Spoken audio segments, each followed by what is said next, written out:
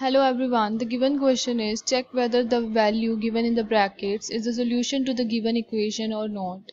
So you have equation given to you which is given equation it is 4p minus 3 is equals to 13 and the value given in bracket it is p is equals to 1 so you need to tell that for p is equals to 1 is this equation is satisfied? That means is p equals to 1 is the solution of this equation or not? So let us find out. Just substitute p is equals to 1 in the given equation.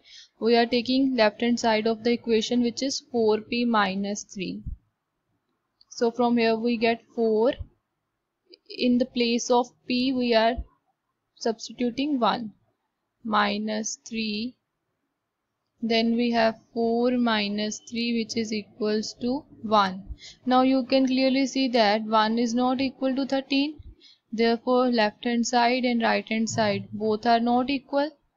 That means p is equals to 1 is not the solution of given equation which is 4p minus 3 so i hope this is clear. Thank you